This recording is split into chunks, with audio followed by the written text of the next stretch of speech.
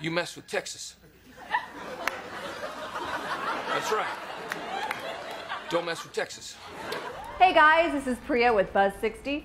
Texas, once known for the Georges, but now, according to Forbes magazine, it has the coolest city in America, Houston, as in way down in Houston, Texas. The magazine based their coolness rankings using seven factors, including recreational opportunities, outdoor green space, restaurants, not including chains, sorry, Texas Roadhouse, and the number of professional sports teams.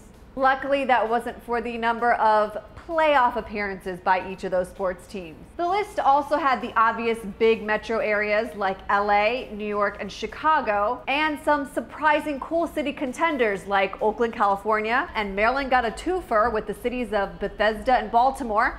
Apparently, the city has come a long way since The Wire. But the Lone Star State got the big win with five cities on the list. Turns out Texas does have a lot to offer, including a majority of the country's billionaires.